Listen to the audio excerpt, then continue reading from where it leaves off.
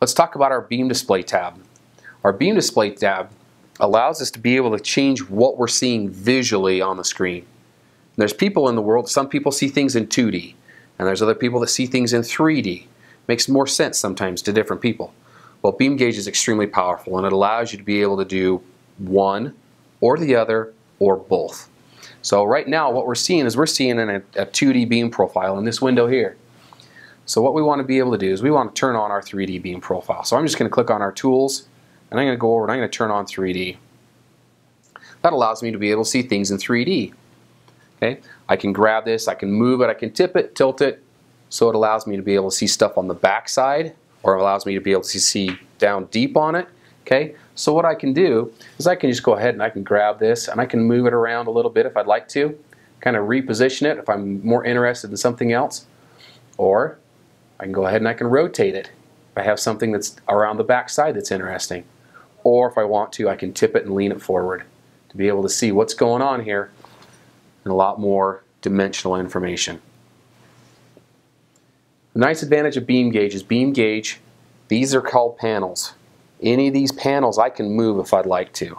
I can go ahead and I can take this 3D panel and I can move it out and I can put it anywhere else I'd like to. So let's say I want to put it over here. So I can see my 3D in my bottom left hand corner and I can have my big 2D screen for alignment. Or I can flip them around. The advantage of BeamGage is I can even move this, one of these screens, over onto a completely different monitor. That way if I have two monitors and I want to be able to see it from a lot farther away or I want to see something in a lot bigger detail, I can put one on one monitor, one on another monitor. Any of these panels that you're seeing here, we can do the same thing with. So I can float my results if I want to, maybe put my results on a completely different monitor. So our next section is, our, is how we're seeing things visually. Right now we're seeing our color palettes in what we call our rainbow effect. Well, in some areas you're going to be working with a laser and you've got glasses on and you can't see specific colors. Sometimes you can't see the red color very well. Sometimes you can't see the green color very well because of the glasses that you're wearing on are designed specifically to block that wavelength. So what we give you the ability to do is you can change that. If I don't want to see it in a color, rainbow, I can change it to a grayscale. I can change it to a blue color. I can change it to a red color or a green color. And that way I can see a lot more information. So we're just going to go ahead and select the blue color. Allows you to be able to see, I want to see the blue information. Show me the blue information. You can see here's all of our blue. Green is our saturation. And here it is in red. Allows you to be able to see things, and if you're wearing those glasses, it's going to make it a lot easier to be able to see it. So we're going to go back to our rainbow color.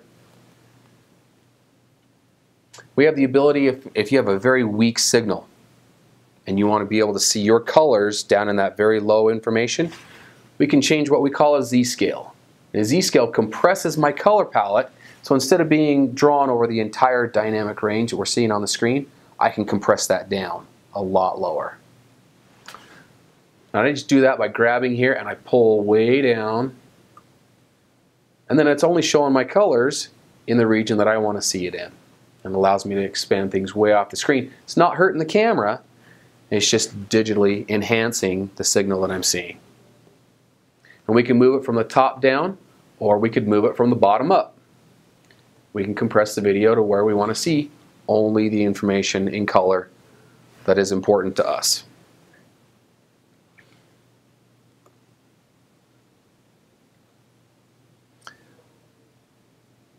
So we'll reset that back to where we can see full screen again.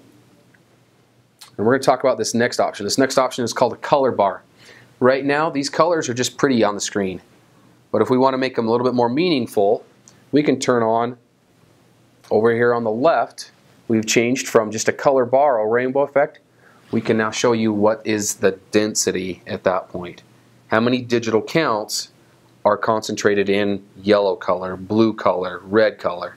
Okay, and we can correlate that. We talked a little bit about that power meter option. You can correlate that back. You can correlate that to a power reading. So at that point, you could then start seeing power density numbers on your screen instead of just colors. We'll talk a little bit about that too. So this next window allows us to be able to turn on different functions in the screens that we're seeing. So one of the functions that we use a lot here in our 3D, we're going to move this window back over.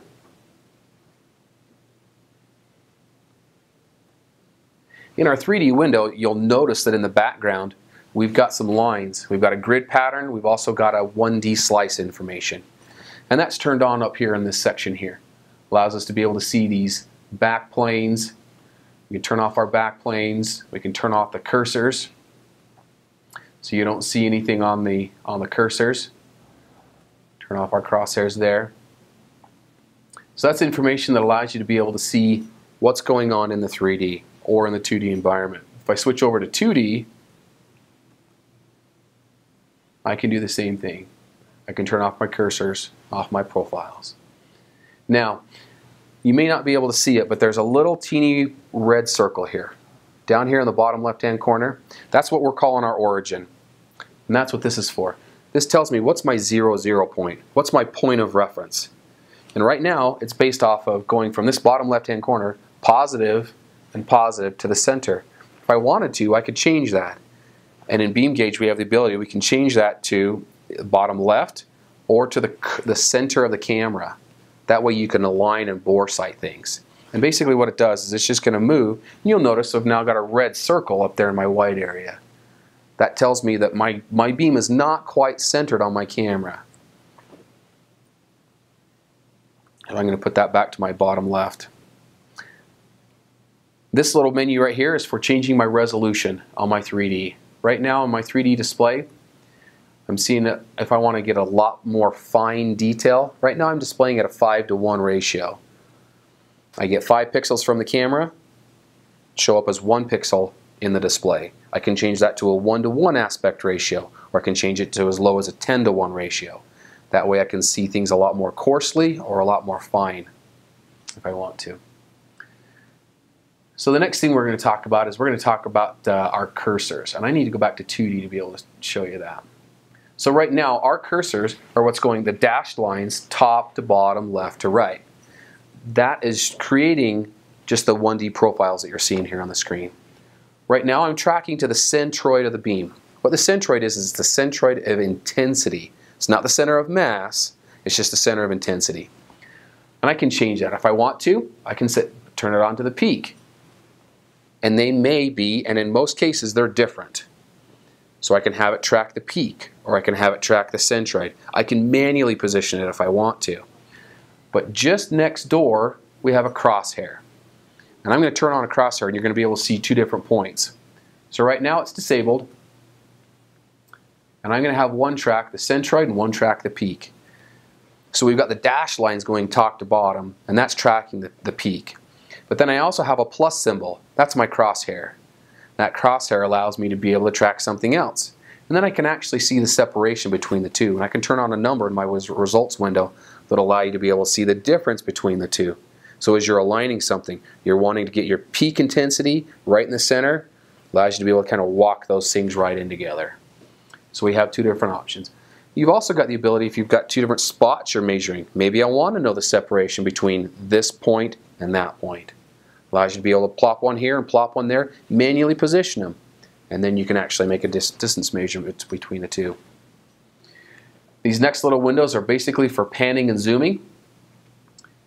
If I want to zoom in, I can just click and I can slide in and it allows me to be able to see in a lot finer detail what's going on in that camera in that particular region. In my 3D, these are the same controls that I just did with my mouse, but allows me to zoom in, zoom out tip it, tilt it, rotate it. So those are all visual controls that you're able to play with there.